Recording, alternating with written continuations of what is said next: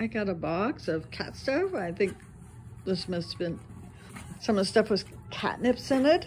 So look who's loving the box. Rebus rolling around in it.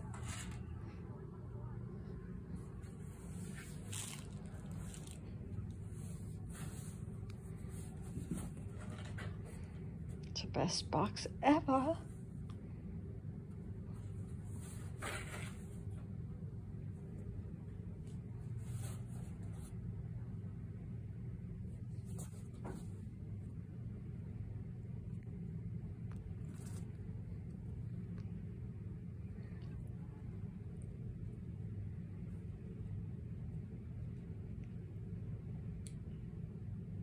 Well, I guess that may be it. That was cool though. Thank you, Rebus.